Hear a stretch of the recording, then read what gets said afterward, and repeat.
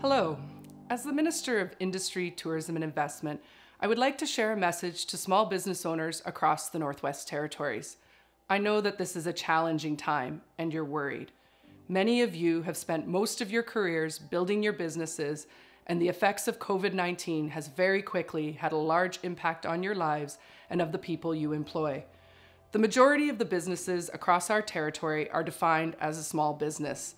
This sector is essential to economic health in our communities, and I know that support from the Government of the Northwest Territories is more important than ever before. One of the roles of the Department of Industry, Tourism and Investment is to foster the environment in which Northwest Territories entrepreneurs and small business owners can invest and prosper. As the minister responsible for that department, it is my job to be a voice and advocate for this sector and ensure the department has the necessary tools to support your needs. And that is exactly what I am working to do. I want to recognize that all Northwest Territories businesses, small and large, are making difficult and selfless decisions to do what is being asked of you to limit the spread of COVID-19. I know that in the North, people want to work. Impacts on businesses are not the same as they are in Southern jurisdictions.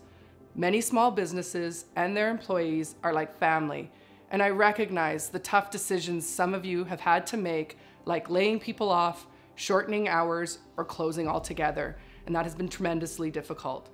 Many of you are still working, and some of you are trying to find unique ways to keep your companies afloat and employees busy. Food establishments are doing food for pickup, or finding fun ways to include us in the cooking process by delivering ingredients and instructions. People are doing virtual facials thanks to spa deliveries or root touch-ups with do-it-yourself home videos shared by salons. Retail stores are using social media to post information about their products and then offering to deliver them to customers. And other businesses are simply implementing shorter hours or shorter weeks to avoid laying off their employees. Companies across the North who have lost business because of this pandemic are finding ways to keep their employees busy. The government of the Northwest Territories appreciates all the sacrifices being made for the good of the territory. We acknowledge that this is happening at a cost to business owners and entrepreneurs in the North. And I promise that we will continue to seek out, identify, and facilitate ways to support your efforts and address your challenges. The Government of Canada has implemented measures to offset and support businesses all across Canada, and in the Northwest Territories, we will continue to look for ways to add to these supports. We are committed to finding ways to ensure that our economy is prepared with the tools it needs to rebuild, once it is safe to do so.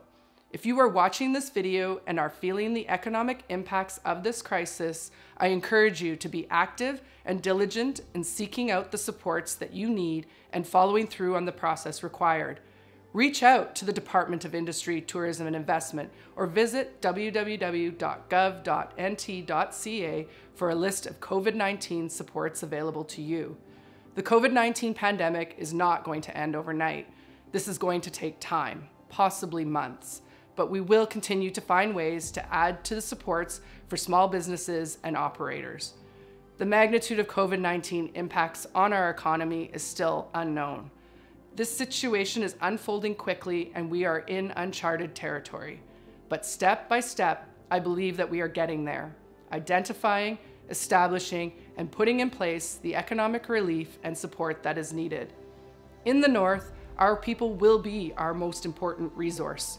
I want to thank you for your patience and understanding during this time and for following the measures put in place by the Chief Public Health Officer. Northerners, especially those in our business community, are known for their resilience. I know that together we will get through this, but doing so together is key. Thank you.